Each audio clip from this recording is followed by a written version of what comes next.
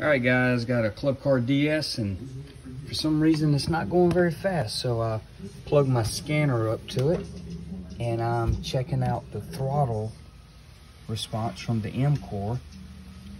And as I go full wide open throttle, you can see it's only giving me 79%. So zero has got a good bit of a good bit of travel with zero. So then it goes all the way up 78, 78, 79%. So we're gonna try a trick here, see if it'll see if it'll work. Another little piece of information as I go to my settings. Let's see here. I'm already on speed code four, but it, it just won't get out of its way. So we're gonna see what we can do. All right, so this is the rod coming out of the M-Core. And what happens, the accelerator pedal hits it here and twists it forward. And there's a little bit of slop on the accelerator rod or accelerator pedal right between there. So what I'm going to attempt to do is to somehow another, actually you can see a little bit of wear in there. I'm going to try to build that up a little bit where the slop is not in there to see if it'll give me 100% throttle. Let's see how this works. If you're watching this video, that means it did work, because if it doesn't work, I'm not going to post any of this. All right, let's see what happens. So what I did was I found a piece of fuel line, and it's a very snug fit.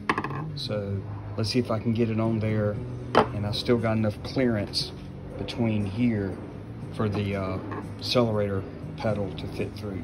Um, the only thing I can assume is this rear rod is when you the pedal returns, it actually pulls back on the M-core which reduces the voltage. So let's see how this works. And by the way, when you put this back in, if you look at that end right there, there's only one way that it will fit in there.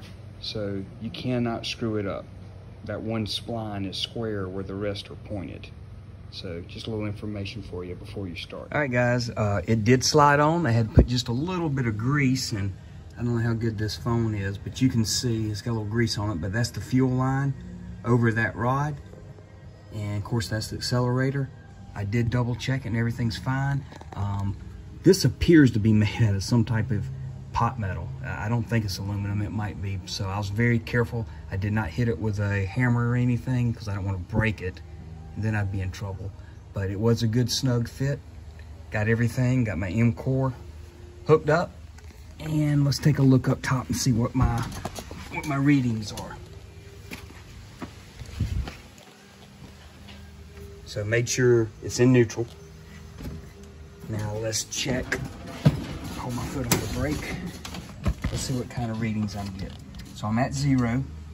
There we go. As I'm starting to accelerate, I'm down to 100%. So now let's go for a test drive. All right, guys, that did the trick. 100% throttle runs a whole lot better than 77, 78% throttle. So 2006 Club Car DS Um, I don't see any uh, anything negative. We're doing speed code four. We're doing about 19 miles an hour, so not too bad. Hopefully this helps out. So good luck.